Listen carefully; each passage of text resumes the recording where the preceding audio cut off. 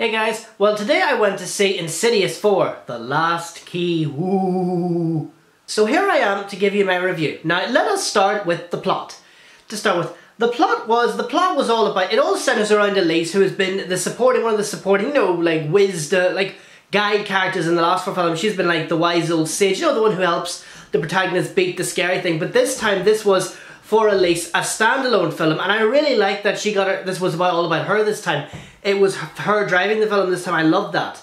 So it's all about her going back to her own childhood home where so many terrible things happened, where she unwillingly, as a child, allowed, opened a key to a, to a part of the further and allowed some very dark forces to come out. So it's all about her facing her fears and battling against dark forces from the further and uh, and letting go of all her childhood demons and like I think it was it was good to see her get standalone film.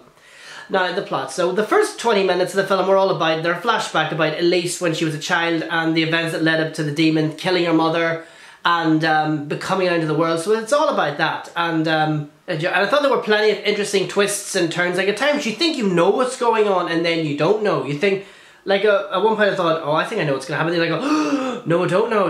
It was just, it was so good. I always enjoy a good horror film. There's lots of complex twists and turns.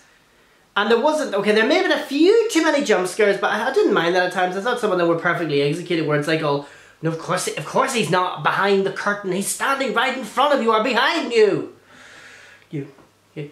And the stuff in the further, the wrap-up scene, the final battles, to call them final battle scenes in the further, they were very well put together. Like, I mean, the further from what we see in the films is a very dark, frightening place. Like, even in the let's see if say it's chapter one, like even when we when your man goes into a camera, what you call him, Josh. Yeah, Josh goes into it the first time. He's get you've only we were only there for a while, but we get the impression we realize this is a very dark, terrifying place, and there's so many layers to it. There's the further where Dalton was in. There was the further where well, there's like this. There's loads of parts in it. Like then there's where the girl and the other fellow went to. Then like the further is just such a place full of dark and hopelessness, and there's no hope or anything in it. So I really was glad to see good. It was for us to be able to explore the further, further. No, or further explore the further. You get what I mean? Okay, now characters. My two favourite characters were Lin Shaye as Elise. I think she executed her part really well. Like, I mean, this was all about, this film was all about her facing childhood demons and, and as I said, this was her as a standalone. This was her actually fighting back against the forces that terrified her childhood and rebuilding a relationship with her brother and her nieces. And um, I just, I was good to see Elise um, get her own stand, as be the standalone character instead of just being the, the wisdom giving character. So it was good to see her get her own standalone film. Well, sort of you call her solo film, but you get what I mean. And Caitlin Gerard is Imogen, who as we discover, like, like when after one of the other sisters is attacked, she then says to Elise, I've got the gift. And we're like, whoa, didn't see that one coming. Although to be honest, I wondered if one of them had the gift. But after the cellar scene with the other girl, like, oh, nope, it's not her, it has to be that one.